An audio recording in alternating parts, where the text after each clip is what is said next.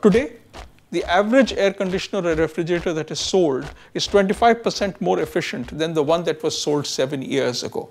More than half of the total energy savings that have been achieved in this country have been because of the labeling program and the more efficient appliances that you and I have bought.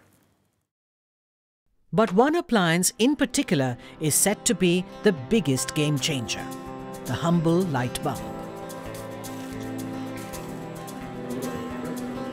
Amid great fanfare, local legislators in the southern state of Andhra Pradesh are busy promoting the LED lighting program in their constituencies.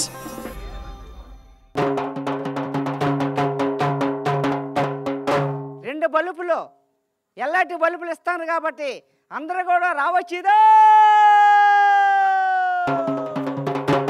This hysteria has spread to the remotest corners of the country. But it is understandable if you're given a 500 rupee LED bulb for just 10 rupees. All you need to do is return your old incandescent bulb to get a new LED one.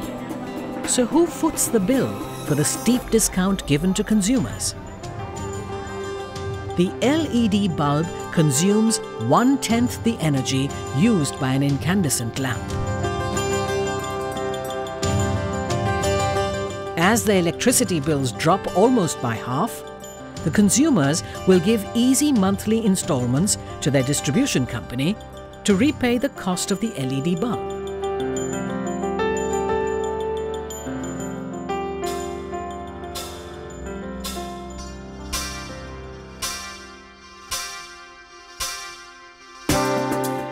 Beyond homes, cities are also lapping up the idea. Welcome to Vishakhapatnam, a city that lost most of its streetlights to a massive cyclone. Now it is relit 100% with LED lights. In six months, Vishakhapatnam's electricity bill has come down by half. Andhra Pradesh is leading the way. The rest of India is catching up quickly.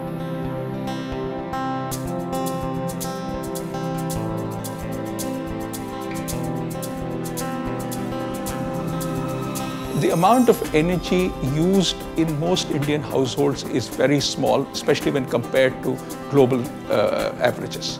However, even if they do a small bit of savings and you multiply it by a billion households, that's a lot of energy. The energy saved would be more than the energy used by many countries. That is the kind of opportunity we have.